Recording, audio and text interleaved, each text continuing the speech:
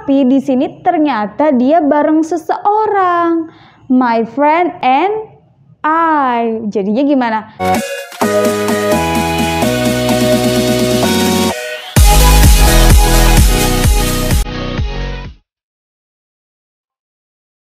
Hello everyone, welcome back to our YouTube channel Bahasaku Inggris, special channel for studying English. So today di video kali ini guys kita mau mengadakan quiz simple present tense. Nah kita kan udah sempet bahas empat tenses sebelumnya. Ada simple present, ada present continuous, ada present perfect, dan juga present perfect continuous. Dan di video kali ini kita bakal mengadakan quiz yang terdiri dari 10 nomor soal dan teman-teman bisa menjawab juga membahas soal tersebut. Oke, langsung aja, nggak usah lama-lama. Tapi ingat ya, kalau ada yang mau ditanyakan, silakan drop question kalian di kolom komentar. Oke, sebelum kita masuk ke dalam pembahasan quiz dan menjawab quiz, don't forget to click like, comment, and subscribe and the notification below because we will give you more video. So happy starting and let's enjoy the video. Oke, okay, halo teman-teman bahasaku Inggris semuanya yang ada di luar sana, yang ada di rumah, di sekolah, dan di tempat yang lainnya. Hari ini kita mau mengadakan quiz simple present. Di sini Miss sudah menyiapkan 5 nomor soal terlebih dahulu yang akan teman-teman jawab dan Miss bantu dari sini bersama-sama. Oke, okay, so prepare dulu materi-materi simple present-nya sambil dibuka-buka, sambil dilihat-lihat, sambil melatih dan memahami seberapa paham kita sih tentang simple present itu. Oke. Okay. So, bisa dimulai ya. Nah, oke, okay. kita bakal bahas mulai dari nomor satu. Di sini, soal nomor satu adalah she blank English. She blank English. Nah, teman-teman mempunyai dua opsi jawaban atau dua pilihan jawaban. Di sini, jawaban yang pertama ada speak. Speak. Jawaban yang kedua ada speaks. Speaks. Beda ya. Yang pertama tanpa S, yang kedua dengan akhiran S. Sekarang teman-teman lihat lagi soalnya. She blank English. Oke, Miss memberi waktu kepada teman-teman semuanya sebanyak 5 detik untuk menjawab apakah benar atau salah. Oke, mulai dari sekarang. 5 4 3 two, one. Keep your answer. Oke, okay, disimpan dulu jawabannya. Miss mau memberikan jawaban Miss. Oke, jadi jawabannya antara speak dan speaks adalah Jawabannya adalah speak dengan tambahan s di belakang. So,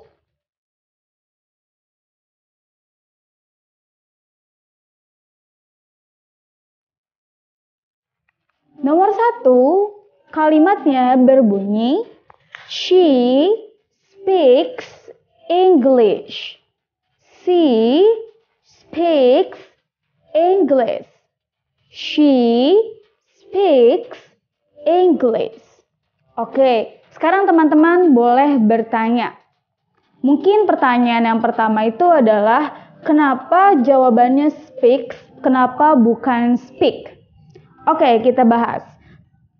Untuk menentukan kata kerja, teman-teman bisa melihat subjeknya. Lihat dulu tipe kalimatnya positif, negatif, atau interrogatif. Betul, positif. Kalimat positif berarti kemungkinannya akan ada dua macam kata kerja. Yang satu tidak dengan S, yang satu dengan S. Nah, bagaimana menentukan kata kerja tersebut? Dengan melihat subjeknya. Oke, di sini subjeknya itu adalah she, teman-teman. Subjeknya adalah she. She itu temannya apa saja? Temannya ada she, he, it, dan subjek tunggal atau singular lainnya. Ya, ketika subjeknya itu berupa she, he, it, dan subjek tunggal atau singular lainnya, maka kata kerjanya harus ditambahkan s. Nah, sisa subjeknya apa aja? Ada I, you, they, we, dan subjek plural atau subjek jamak lainnya berarti dia yang tidak ketambahan S. Oke, gampang ya. Sekarang kita masuk ke soal nomor 2. I blank my book on the table. I blank my book on the table. Nah, di sini ada dua pilihan. Ada put, ada puts. Ada put without s, ada puts with s. Kira-kira teman-teman akan menjawab yang mana? Kita hitung dari sekarang. 5, 4, 3, 2, 1. Oke, So, jawabannya ada di Ya, benar. Jawabannya ada di put. Kenapa jawabannya ada di put? Karena subjeknya I. Jika subjeknya I, maka kata kerjanya tidak perlu ketambahan S. Betul. Kita lanjut nomor 3. Mr. Tom blank as an assignment. Mr. Tom blank as an assignment. Nah, di sini jawabannya ada dua lagi. Ada gives, ada give. Ada gives, ada give. Gives with s, give without s. Nah, kira-kira teman-teman akan menjawab yang mana? Gives atau give. Miss ulang sekali lagi, Mr. Tom blank as an assignment. Perhatikan pola kalimatnya. Pola kalimat apakah ini? Betul, pola kalimat positif. Oke, okay, udah dilihat lagi rumusnya? Oke, okay, kita jawab. Waktunya 5 detik dari sekarang. 5 4 3 two, one. Oke, okay, keep jawaban teman-teman di sana. Jawabannya adalah betul sekali, gives. Kenapa jawabannya gives, teman-teman? Ya, karena subjeknya ini Mr. Tom. Ada berapa orang di sini? Satu. Hanya Mr. Tom saja. Kalau satu itu kan berarti tung gal singular berarti kata kerjanya harus ketambahan s atau es. Baik, mudah ya. Sekarang kita masuk ke nomor 4. You blank join the class. You blank join the class. Ada dua opsi jawaban. Doesn't dan don't doesn't, dan don't. Kira-kira teman-teman akan menjawab yang mana? Oke, sebelum menjawab, lihat dulu pola kalimatnya. Pola kalimat apakah ini? Dari mana teman-teman bisa menentukan? Dari jawaban yang Miss kasih, betul. Di sini ada doesn't dan don't. Mereka ini adalah auxiliary yang bentuknya negatif. Betul sekali berarti kalimat ini adalah kalimat yang berpola negatif. So, auxiliary apakah yang cocok untuk menemani you di sini? Oke. Okay. Udah siap? Waktunya 5 detik dari sekarang. 5 4 3 2 1 Oke, okay, keep your answer. Jawabannya adalah doesn't, don't. You doesn't, you don't. Oke, jawabannya adalah don't. Benar teman-teman. Oke, buat yang benar selamat, buat yang belum benar coba lagi. Masih ada 5 nomor lagi nanti. Ini kita selesaikan dulu ya. Oke, yang terakhir ada My friend and I, my friend and I blank come to her party. My friend and I blank come to her party. Kira-kira jawabannya itu adalah Uh, I'm so sorry, mungkin miss di sini ya teman-teman. Oke, kira-kira jawabannya apa? Ada don't, ada doesn't. Don't, doesn't. Oke, ini bentuk kalimatnya masih sama yaitu kalimat pola nega negatif. Sekarang lihat subjeknya teman-teman. Lihat baik-baik subjeknya. Ada my friend. My my friend. My friend itu satu apa dua sih? Betul, my friend itu sah satu. Kalau banyak itu my my friends. Ada S ya di belakang ya. Tapi di sini ternyata dia bareng seseorang. My friend and I. Jadinya gimana? Aku dan temanku. Berapa orang di sini? Ada dua orang. Berarti kalau ada dua orang, dia ini tunggal apa jamak? Betul, jamak. Berarti dia ini masuk ke